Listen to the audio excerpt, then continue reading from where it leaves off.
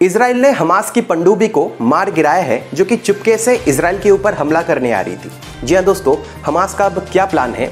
Hamas क्या करना चाहता है, किस तरीके से इसराइल के ऊपर हमला करना चाहता है, और हमेशा इसराइल किस तरीके से हमास की इस कोशिश को नाकाम कर रहा है? आज खबरी दुनिया की रिपोर्ट में मैं आप सभी को इसी के बारे में बताने वाला हूँ। नमस्कार दोस्तों, मैं अभिनव स्वागत करता हूँ आप सभी को हमारे चैनल अभी का ज्ञान में। आइए जानते हैं। अब दरअसल बात क्या है, पहले मैं आप सभी को बता देता हूँ। देखिए, हमास के पास काफ़ी सारी ऑटोमेटिक पंडुबियाँ हैं। ऑटोमेटिक पंडुबियाँ यानी कि, क्या है ना, ये रिमोट कंट्रोल पंडुबियाँ हैं। यानी कि ज़मीन से इन्हें कोई ऑपरेट करता है और ये पानी के नीचे चलती रहती है। और ये अपने साथ बॉम्ब्स वगैरह कैरी करके लेती है और जो भी टारगेट होता है, वहाँ पर हिट करती है और अपने आप ही ब्लास्ट हो जाती है। इन्हें सुइसाइडल सबमरीन्स भी हम कहते हैं। अब हमास ने क्या किया, इनमें से एक ऑटोमेटिक सबमरीन को भेजी टुवर्ड्स इसराइल ताकि ये इसराइल के किनारे जाकर वहाँ पर बॉम्बार्डमेंट करे, यानी कि बॉम्ब्स वगैरह फेंके, वहाँ पर पूरी तरीके से ब्लास्ट करे। लेकिन ये जो बात है, ये पता चल गई इसराइल को। तो इसराइली डिफेंस फोर्सेस ने पूरी तरीके से उस सबमरीन को तहस नहस कर दिया। साइड पे आप ट्वीट पे देख सकते हो, ये रॉ फुटेज है, आप वो चेक कर सकते हो। अब आप सभी के मन में ये सवाल ज़रूर आता होगा कि देखिए, हमने तो सिर्फ़ इतना ही सुना था कि हमास जो है, ये ज़मीन पर ऑपरेट करता है, ये ज़मीन पर हमला करता है, लेकिन ये पानी में कहाँ से आया? तो क्या इनके पास कोई नेवी है? क्या इनके पास नौसेना है? बिल्कुल, हमास के पास नौसेना है। अब ये वैसी नौसेना नहीं है जो भारत के पास है या फिर यूएस के पास है या फिर इसराइल के पास है, पर इनके पास नौसेना है।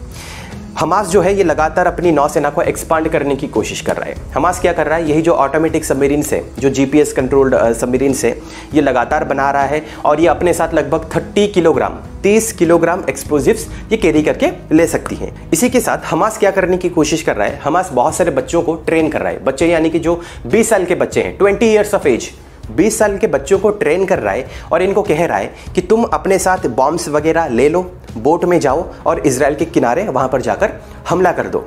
यानी कि इनको हम सुइसाइडल बॉम्बर भी कहते हैं। इनका नाम इन्होंने क्या दिया है? फ्रॉगमैन कमांडो तो बहुत सारे बच्चों को भी ट्रेन यहाँ पे कर रहा है ताकि ये इसराइल के ऊपर हमला कर दे। अब ये बात तो हमें समझ में आ रही है कि हमास जो है, ये फ्रॉगमैन कमांडो को ट्रेन कर पाएगा, इनके मन में कुछ ना कुछ यहाँ पे डाल रहा होगा ताकि ये सुइसाइडल बॉम्बर बन जा रहे हैं। लेकिन इनके पास जो पंडुबी है, ये पंडुबी कहाँ से आ रही है? कौन इन्हें प्रोवाइड कर रहा है? देखिए, हमेशा उंगली उठती है ईरान के ऊपर। कहा यह जाता है कि ईरान जो है, यही ऑटोमेटिक पंडुबियों को भेजता है हमास इजिप्ट के ज़रिए। साइड पे ही आप मैप पे देख सकते हो। ईरान क्या कर सकता है? अपनी पंडुबियों को भेज सकता है रेड सी के ज़रिए टू इजिप्ट फिर इजिप्ट ये प्रोवाइड कर सकता है हमास को। हालाँकि इजिप्ट की सरकार इसमें शामिल है इन्वॉल्व है, या फिर नहीं, ये किसी को भी नहीं पता है। हो सकता है गलत तरीके से इजिप्ट के ज़रिए ये हमास तक पहुँच रही होंगी। पर बात इतनी सी है, उंगली लोग उठा रहे हैं ईरान के ऊपर कि ईरान ये सब कर रहा है, वरना हमास के पास ये सब पंडुबी कहाँ से आएगी? अब सबसे बड़ा सवाल ये है कि हमास पंडुबियों का इस्तेमाल क्यों करेगा? पंडुबियों का इस्तेमाल करके हमास किस तरीके से इसराइल को नुकसान पहुँचाने की कोशिश कर रहा है? क्या सिर्फ़ आतंक मचाना ये इनका मेन मोटिव है? नहीं, ऐसी बात नहीं है। देखिए, अगर मैं आपको इसराइल के बारे में बताऊँ तो इसराइल के पास दो बहुत ही महत्वपूर्ण नेचुरल गैस फ़ील्ड है।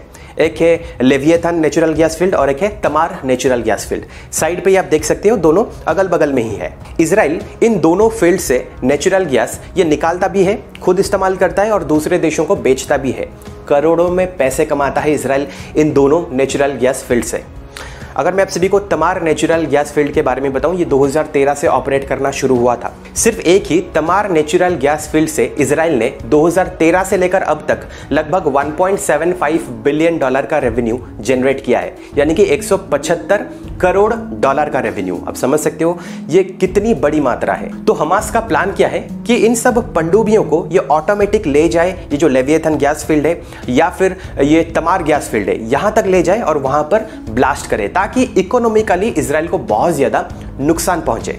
अब ऐसे में ईरान ये सब कुछ कर रहा है या फिर हमास खुद ही ये अपनी तरफ़ से कर रहा है, ये किसी को भी नहीं पता है, पर इनकी मनसा यही है। इसीलिए अगर आप लेवियथन में देखोगे या फिर तमार गैस फ़ील्ड में देखोगे तो इसराइली नेवी यानी कि इसराइल की नौसेना हमेशा वहाँ पर उनकी सुरक्षा करती है। देखिए, अब इस पूरी घटना से ये तो तय हो चुका है कि इसराइल अपनी तरफ़ से अब युद्ध नहीं रोकेगा।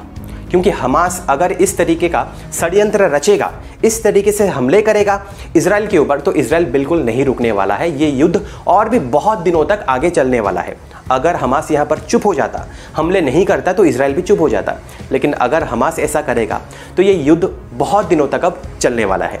अब ऐसे में मैं आप सभी की राय जानना चाहता हूँ कि हमास ने जिस तरीके का षड्यंत्र रचा है, क्या इस समय पर हमास को ऐसा करना चाहिए था?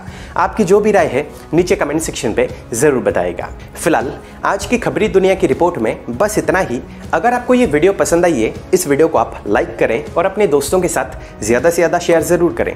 और अगर आपने हमारे चैनल को अब तक सब्सक्राइब नहीं किया है तो प्लीज़ सब्सक्राइब कर दीजिए, क्योंकि मैं ऐसे ही इंटरेस्टिंग वीडियोस आप सभी के सामने लाते रहता हूँ। अगर आपको कोई इंटरेस्टिंग टॉपिक चाहिए, नीचे कमेंट सेक्शन पे ज़रूर बताएगा, मैं उसके ऊपर ज़रूर एक वीडियो बनाऊँगा। मिलता हूँ अगले वीडियो में एक और इंटरेस्टिंग टॉपिक के साथ। फ़िलहाल के लिए वीडियो में इतना ही। देखने के लिए बहुत बहुत शुक्रिया।